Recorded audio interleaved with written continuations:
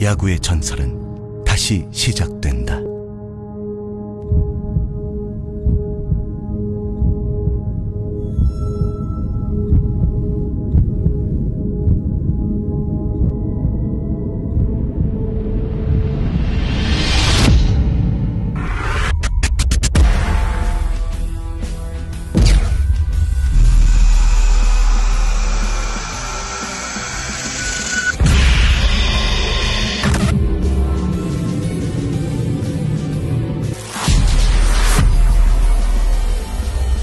야구의 시작과 끝.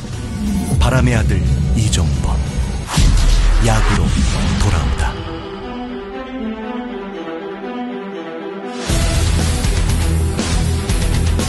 나의 야구 게임은 다시 시작된다. 대한민국 넘버원 야구 게임 프로야구 매니저